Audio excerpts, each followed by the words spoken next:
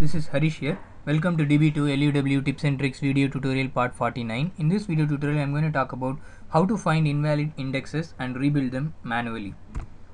This slide talks about the problem and the solution. So the problem scenario is we want to find invalid indexes in the DB2 database and rebuild them uh, manually or individually. Uh, the system catalog like syscat.indexes table uh, or catalog view uh, do not report invalid indexes in a direct manner. So the solution for this is we have to use the routine sysproc.admin underscore get underscore index, index info. So this routine can uh, return uh, uh, multiple information like it returns the size of the index in kilobytes, the compression attributes, whether the index is compressed or not, whether it is using um, large uh, RIDs or uh, regular RIDs and whether the index requires rebuild or not. So this is that invalid index uh, option that I am talking about and also the reclaimable space in, in kilobytes. So we can use the reorg indexes uh, command with rebuild option to rebuild the indexes uh, specifically on a particular table like that. Okay. So let's uh, jump into uh, quickly into few examples. So here I have already uh, connected to the sample database. I have created a table staff and there are two indexes idx1 and idx2 in on that particular table. And I have also loaded some sample data into that. So let us first run the admin get index info uh, routine. So here you can see that I am passing the uh, i i means like index we are we are requesting index information under the schema db2 inst1 and the name of the index. So I am asking for a specific index here okay? So I'll connect to sample. Okay. Let me just quickly run that query here. So this is like so for that specific index so I can see that for the index db2 inst1.idx1 uh, the index is not a compressed index and it is uh, 5120 kilobytes. It is using large id uh, large rids and the reclaimable space is 0 and it does not require any rebuild. So this is like for specifically if you want.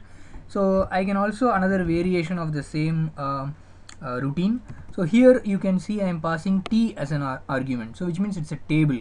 So db2 inst1 schema dot staff table. Okay so in that uh, how so what are all the indexes there like that? So this particular table contains two indexes idx1 and idx2 uh, and both are uh, not compressed and the size of the index and the large RIDs or regular RIDs and whether it requires rebuild or not. So you can see n means it is it does not require a rebuild okay?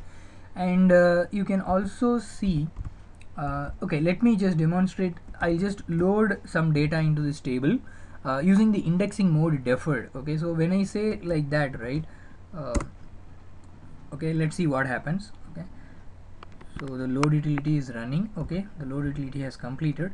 So now I'll again run the index. So you can see the index object size and all is becoming null. See this this is because the index requires rebuild. See here y right? So which means that the index requires rebuild. And uh, so how to rebuild the indexes? So that's very simple. Uh, reorg index all for table staff. Allow read access rebuild option so that's the one I'm going to use now. So this will uh, reorganize uh, the indexes for that particular table. Uh, so let's let it it is taking some time because of the huge number of rows. Okay. So yeah it's completed now. So again I'll run the same admin get tab info. You can see that the index object uh, size is also there and it does not require uh, rebuild anymore because uh, of the reorganization okay that's it in this video tutorial. You can use the admin get index info uh, routine in multiple variations. So please refer info center for uh, additional information.